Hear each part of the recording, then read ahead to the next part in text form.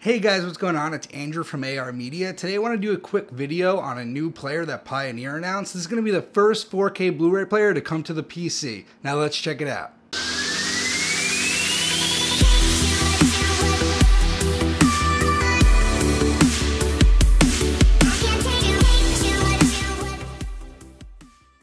So Pioneer Japan released today the first 4K Blu-ray player for PC. Now there are some requirements to get this 4K Blu-ray player to fully work with your PC, but it's super exciting to see this come to the market. I've really been wanting to rip my 4K Blu-rays to my computer and have a way to watch them with the HDR included as well, and this is a fantastic option. I'm so happy that it's coming to market so soon. Now let's look at the specs you're going to need to run one of these Blu-ray drives. So first of all, you're going to need Intel processor running Kaby Lake. So that's the most recent i7 or i5.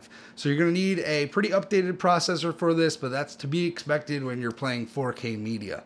You're going to need an HDMI 2.0 A port for the HDR data, as well as an HDMI 2.2 complacent port on either your graphics card or your motherboard. So you're definitely going to have to look into that before you purchase. This is definitely going to be something you need in order to get the HDR and the 4K pass through. And last but not least, you're going to need either a TV or a monitor that supports 4K HDR. Now, a lot of monitors have been coming out recently that do support 4K HDR. They are relatively expensive, but you could also use a 4K uh, TV with HDR as your display device, and most of the time, I'm assuming with a Blu-ray player, you're going to be watching movies, so you probably want it hooked up to a TV. Pioneer hasn't announced any pricing for this player yet, but they said it should ship early 2017, and it comes linked with the CyberLink Blu-ray software. This allows it to play 4K Blu-rays right off the bat without spending any extra money on Blu-ray players. Also, you're to need to be on Windows 10 for this. I know that may be a shock for some of you guys. I know some people are pretty hesitant to do the upgrade. Overall, I've been running Windows 10 since launch and have no problem with it, but you will need Windows 10 to run this Blu-ray player as well. Anyway, guys, I hope you got something out of this video and I hope you're as excited as I am to see this player come to the market.